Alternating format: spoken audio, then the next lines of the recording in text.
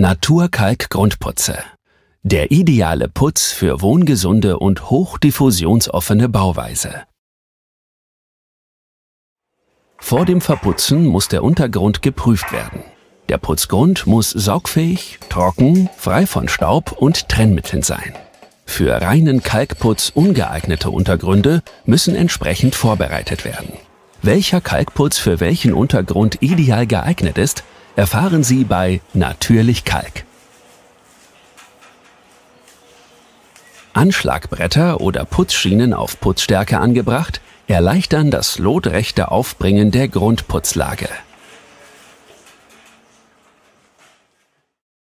Bei hochdämmenden Ziegelsteinen sollte ein Vorspritzmörtel eingesetzt werden. Dieser wird halbdeckend aufgebracht. Naturkalkputze benötigen zum Abbinden Feuchtigkeit.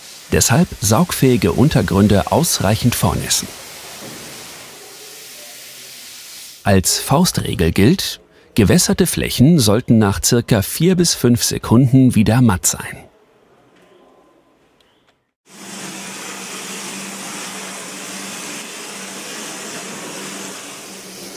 Der Naturkalk-Grundputz wird in zwei Lagen, nass in nass, in gewünschter Putzstärke aufgebracht.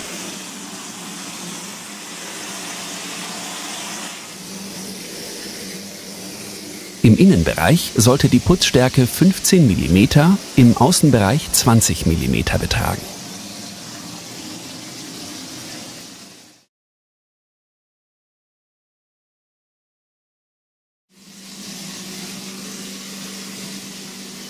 Bei Materialwechsel im Mauerwerk ein alkalibeständiges Armierungsgewebe im oberen Drittel des Grundputzes einbetten.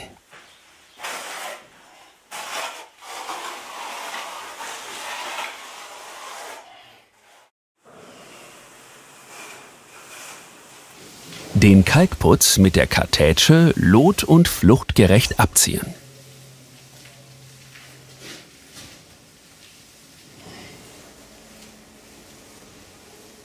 Kleinere Fehlstellen werden direkt nachgearbeitet.